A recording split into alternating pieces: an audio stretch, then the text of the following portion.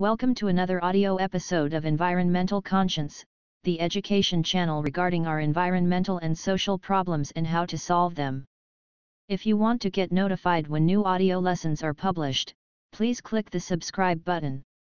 In this lecture, we are talking about the causes, effects, and solutions for forest fires. You can also find the related article to the lecture in the video description if you want to study this topic in more detail. Causes of wildfires Lightning One cause of wildfires is lightning. During thunderstorms, there is the risk that a flash will hit trees and due to the enormous heat that occurs in those moments, chances are that trees begin to burn. If those small fires are not extinguished pretty soon, they may turn into significant forest fires that can get out of control pretty soon. Volcanoes In areas with serious seismic activity, volcanic eruptions can be another cause for wildfires. During volcanic eruptions, significant amounts of lava will reach the Earth's surface. Lava is pretty hot and if lava gets in contact with trees or other bigger plants, chances are that the local flora will be ignited. Earthquakes Earthquakes can be another factor when it comes to wildfires. During earthquakes, many houses and other infrastructure buildings get destroyed. In turn, plenty of inflammatory materials will be lying around. In such situations, only small sparks are enough to light up wildfires and since people often use candles in those situations due to a lack of electricity after earthquakes, forest fires can spread quite easily. Droughts Whether forest fires can really spread or not also greatly depends on how dry the land in the respective region really is. If there is constant rain, the chances for wildfires are much smaller compared to a state where there are excessive droughts. In fact, the drier a region is, the more likely it is that wildfires will occur sooner or later. Hence, especially if you live in a rather dry region, be aware of the fact that you will be at greater risk to suffer from the consequences of wildfires. Constitution of forests and regions. In general, the risk of wildfires also greatly depends on the overall constitutions of forests. For instance, if trees are pretty close to each other and forests are dense, there are higher chances that wildfires can spread compared to a state where there are only a few trees per square mile. This is due to the fact that the fire will have it much easier to spread if there is sufficient material that can be burned. Heat Climatic conditions also play a role when it comes to forest fires. The hotter it is in a region, the more water plants and trees will need to stay vital and healthy. Consequently, also the chances for dry plant material increases significantly in dry regions of our planet. In turn, the risk for wildfires increases as well since the drier plant material is, the easier fires can be ignited.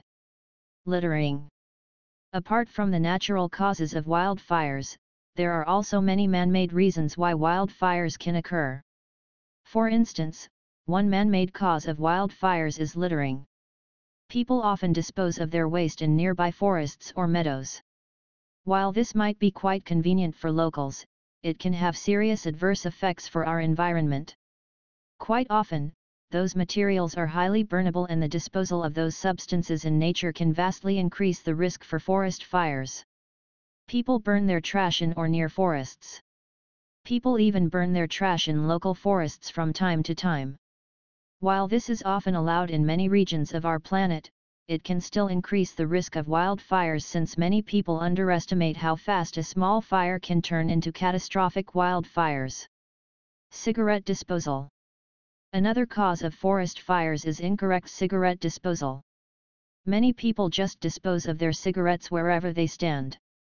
While this might not be a big problem in big cities since there will often be not enough burnable material around to start fires, it can lead to horrible outcomes in rural areas or even forests. In fact, many people underestimate the heat that is still contained in their used cigarettes which can easily be enough to start forest fires if plant material is sufficiently dry. Campfires Also many campers contribute to an increasing risk of wildfires. While campfires can be quite a lot of fun, sparks from those campfires can ignite the trees nearby. If you watch your campfire closely, you will often have no problems since you could stop potential wildfires before they have the opportunity to spread. However, some people also leave their campfires unattended and this can lead fires to get out of control. Fireworks I think most of us agree that fireworks are pretty and if they are handled in a responsible manner, the risk of serious accidents is rather slow. However, many people are just not responsible and also make fireworks near forests. Since some rockets will not fly straight into the sky but will rather fly into nearby trees, forest fires due to the irresponsible use of fireworks are quite common. Car accidents. You might not know it, but car accidents can be another serious cause of wildfires. Through accidents, plenty of sparks will be spread and if those sparks reach dry plant material, those sparks can be enough to start wildfires. This is also the reason why you see firefighters approaching many accidents. Apart from extinguishing fires that might occur inside vehicles, they also have to make sure that no forest fires start in the nearby environment. Some people even cause wildfires intentionally.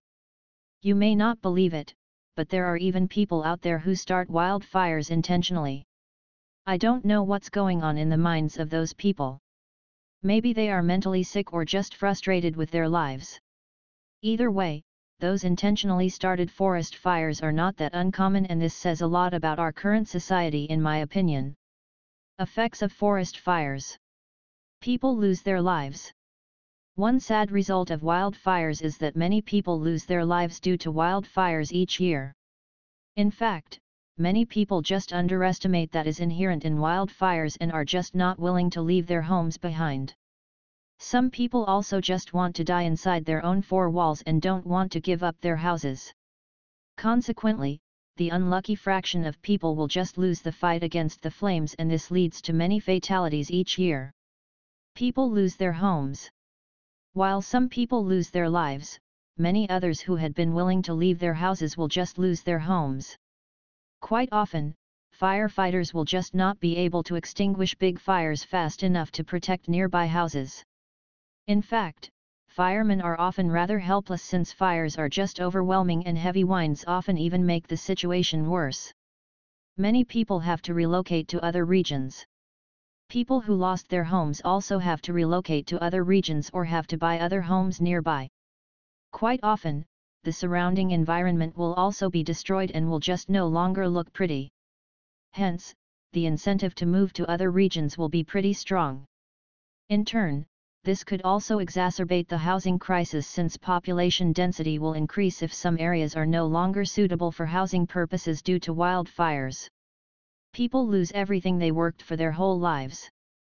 In general, the sad truth is that some people will lose everything they worked for their whole lives due to wildfires. Many people worked for decades to pay off their mortgages for their homes and all their belongings have also been inside their four walls. This also implies that by losing their house, those people will not have any assets left. In turn, some of those people will even end up homeless since they will often not be able to pay rent for a new place anymore. Local poverty will increase significantly. Since some people will lose the majority or even everything they ever owned, wildfires will also cause significant local poverty. People will just have less disposable income since many of them have to start paying rent instead of living in a home that has already been paid for. Consequently, an increasing fraction of people's income will have to be spent on housing and this implies that people will have less money to spend on other things they need. It can take many years to rebuild local infrastructure. If you have a look at pictures of big wildfires, there is no doubt that it will take many years or even decades to rebuild all the houses and infrastructure that has been lost due to those wildfires. In fact, many people may also just give up and will leave those areas, which leads to a state where it takes even longer to rebuild everything since there will just be a shortage of workers and capital in those regions. Decreasing soil quality. Due to the enormous heat, also the soil will be altered in a rather undesirable manner. In fact, the soil will often lose its fertility and may no longer be suitable for agriculture anymore. Consequently, this can lead to serious problems for the local population, especially in poor regions where people often rely on food supply of local farmers to survive. Farmers may lose cattle. Farmers may also lose a significant fraction of their cattle due to wildfires. In fact, farmers will just have no chance to rescue their cattle, especially if wildfires have gotten out of control. In many cases, those farmers just have to watch their farm animals die, which is not only horrible from an ethical perspective, but also from a financial perspective. Farmers may lose crops. Farmers who don't raise cattle will still lose significant crop yields due to wildfires. Plants are just immobile and this means that once wildfires reach crop fields, farmers will just have no option other than to let their plants burn down.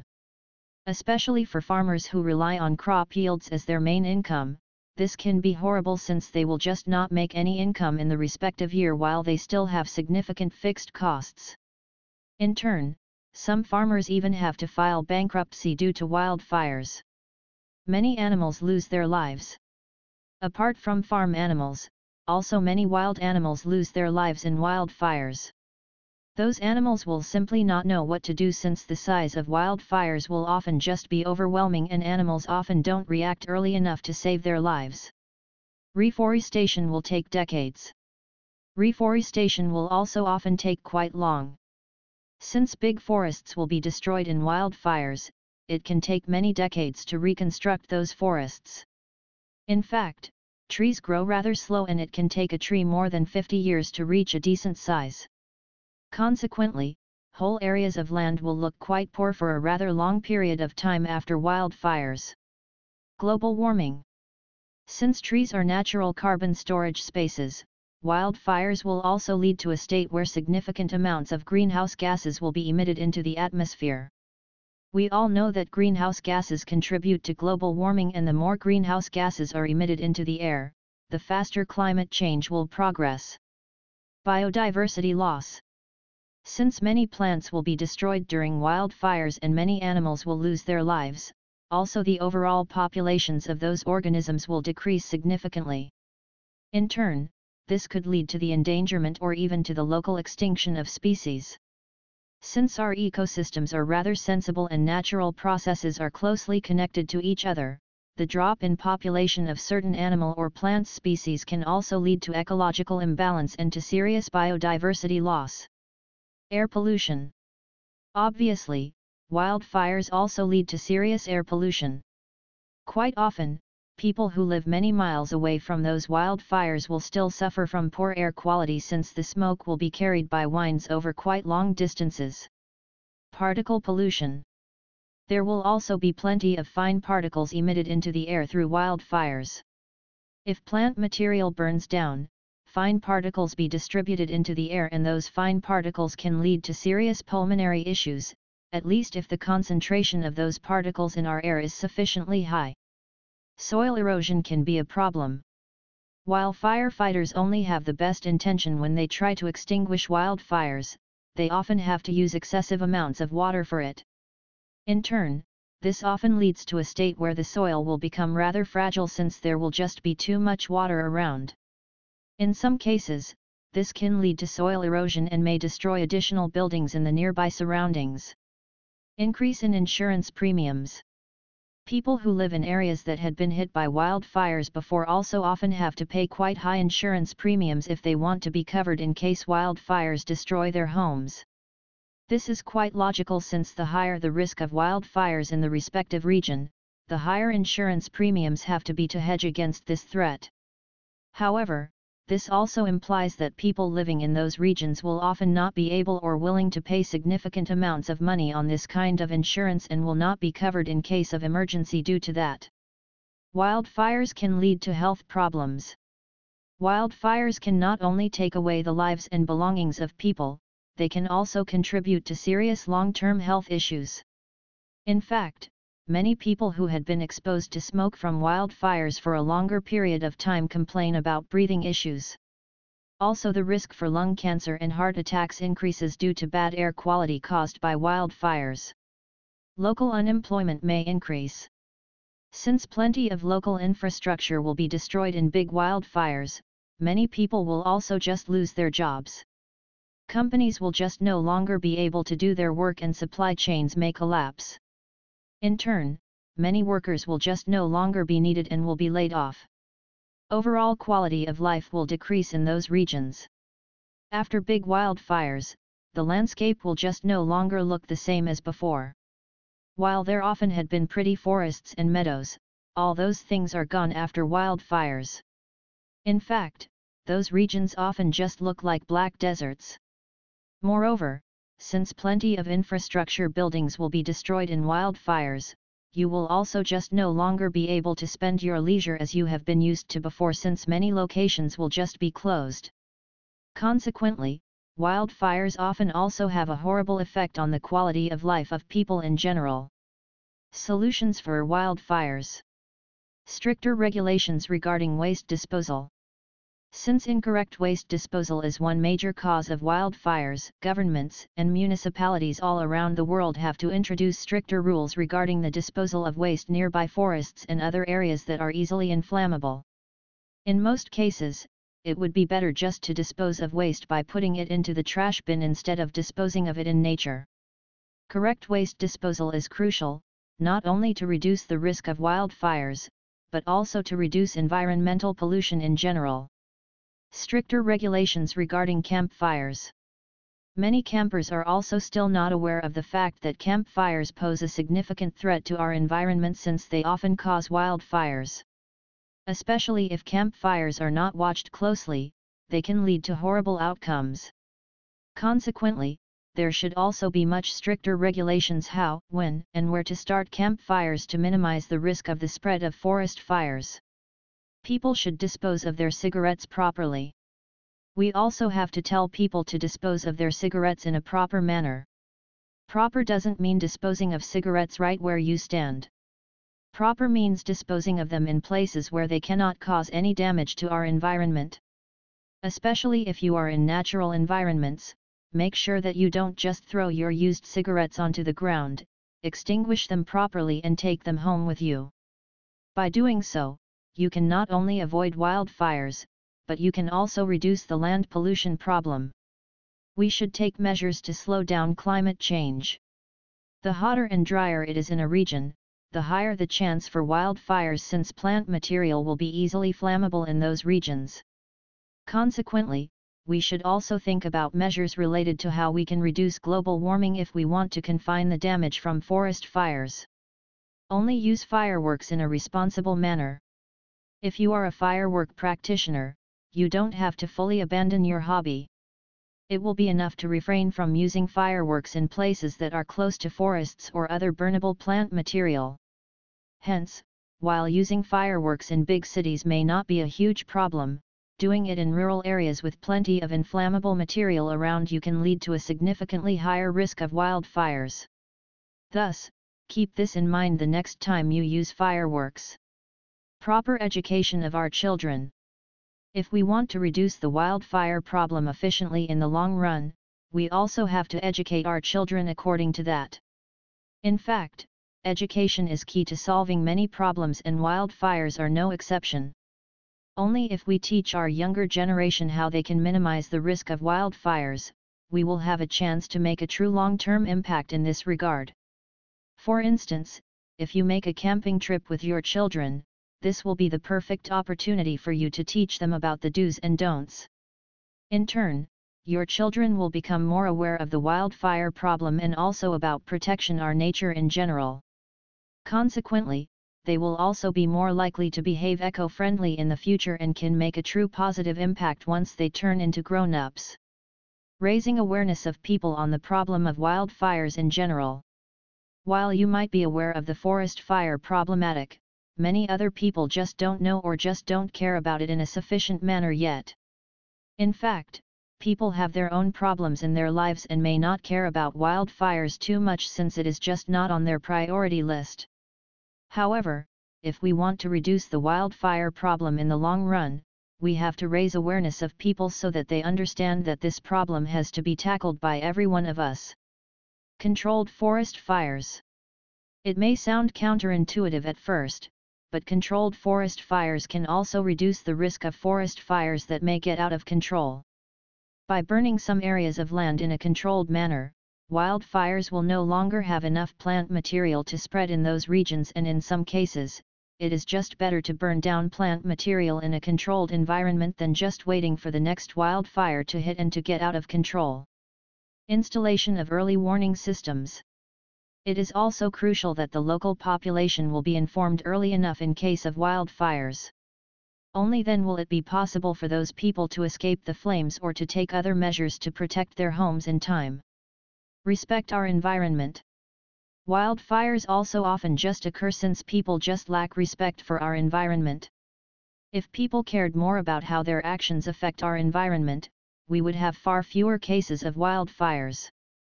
Thus, make sure that you act in an eco-friendly and responsible manner so that you can make your contribution to reducing the wildfire problem.